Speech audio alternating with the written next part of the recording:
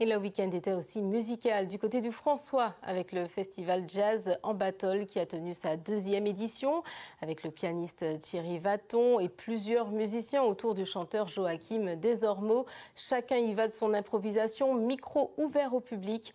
Un franc moment de partage capté par la caméra de Jean-Marc Kenanga.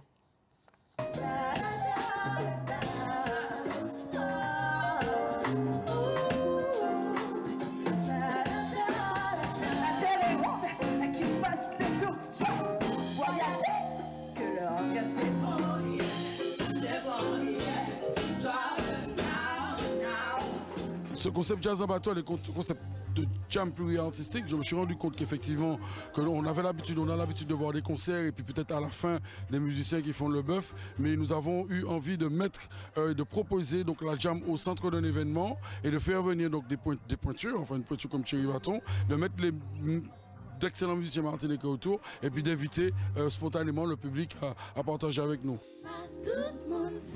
Mais la sève, migonée à notre sueur, de la vie mélangée à nos pleurs, pas de chignon, non pas de ça, pas de planésier sec et pipé sec, mais des larmes de rage. Toute différence détracée, toute espérance décatillée. L'initiative est très bonne de se retrouver, de retrouver à nouveau le public autour d'une musique intelligente et intelligemment jouée.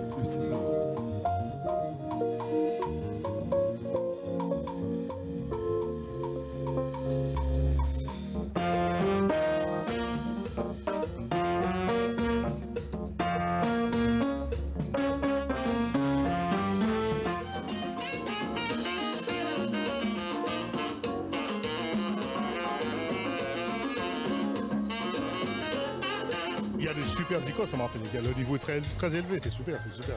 On a l'écoute les uns des autres, on s'amuse, on, voilà, on s'écoute, on échange. C'est magnifique, c'est magnifique. C'est ça mon Dieu, mais moi, l'esprit moi, un fond moi, pour moi, ça, c'est on met la vie.